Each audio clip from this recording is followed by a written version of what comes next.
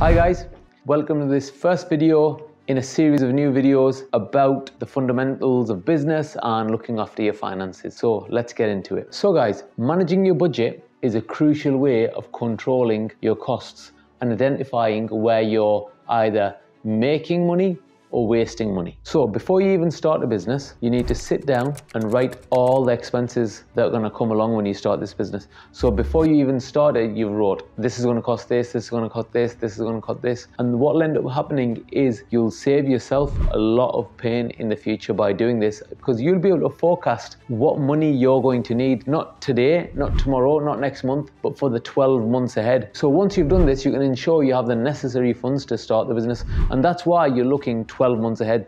Because if you were thinking, oh, I've only got $20,000 and I'm going to do this business, and once you come and write all this down and you add it up and it comes to $30,000, then you probably need to rethink your plan and see where you're expending the extra 10,000 because if you're thinking right it's going to take uh, about a year to become profitable and then you've wrote your plan out and you've only got 20 grand and you look at the plan and it's like oh I won't become profitable for a year, but I need £30,000. You're putting yourself up to fail for sure then. So, in this budget, right, you could be putting things like inventory, rent, rates, marketing, gas, electric, employees, stationery. You can probably look this up on the internet. There'll be like a whole list of things that you need to budget. You need to write these down and say, this is what I think this thing will actually cost so that you don't run out of money once again and get yourself into trouble. You know what the really clever guys do is that they find ways to make money even before they start the business, right? So imagine you're thinking about starting a dog grooming business and you're like, okay, I'm going to get that premises and I know I need all these shampoos and I need all these brushes, etc., etc. And then you get started and you're paying rent from day one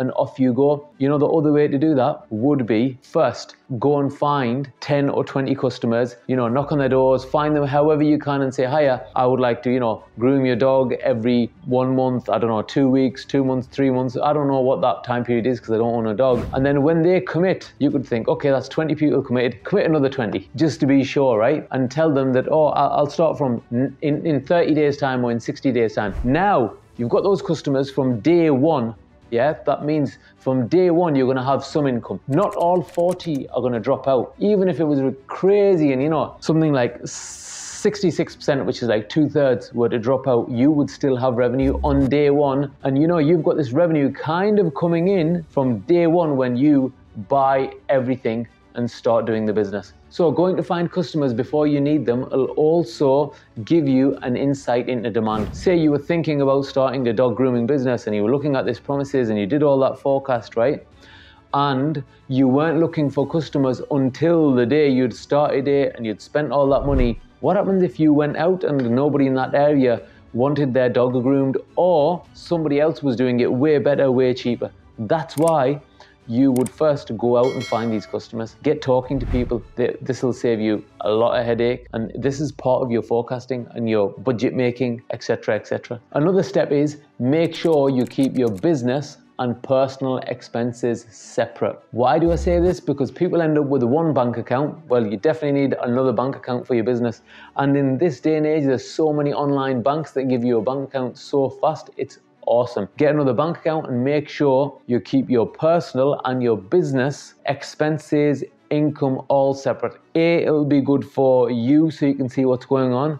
B, it'll save you loads of headache in the future when you have to do the taxes. Having a separate bank account will also assist you with better record keeping. First of all, one of the other fundamentals of starting a business is that you need to keep good records, guys. You can't be thinking, did I get this money off this customer? Is this money coming in? Where have I spent it?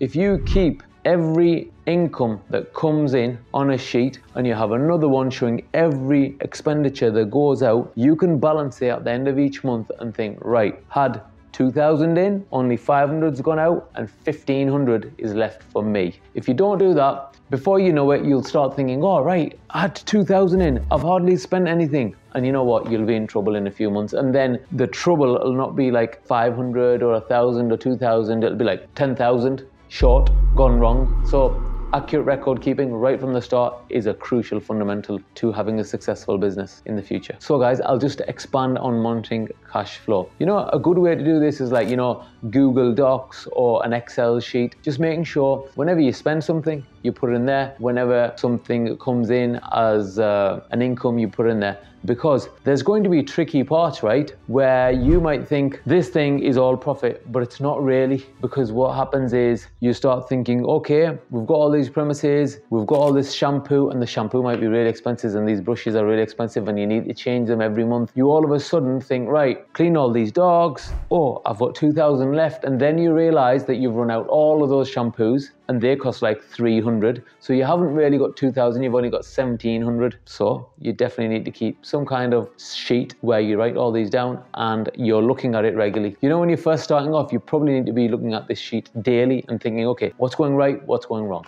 Try and put in some kind of future cash flow tool. So it's like predicting for you that okay, this is going to happen and this is going to happen. And in the future, I will either have excess money or I will need money. That, that's another thing that will stop you for, from getting into any kinds of trouble. Right, so this means, you know, by doing that, you can either scale your business slowly over time and you won't get into trouble, or you can accelerate the growth and go out and buy, you know, an extra dog bath hire an extra employee, get all the shampoos you need, get like these fancy schmancy hair dryers or whatever, or do extra marketing. But if you never keep a cash flow chart or some kind of budgeting tool or something that shows you where your money is heading, you won't be able to do any of those things because once again, you might have more than you need or you might not have enough to run the business on a daily basis and then you might go kaput.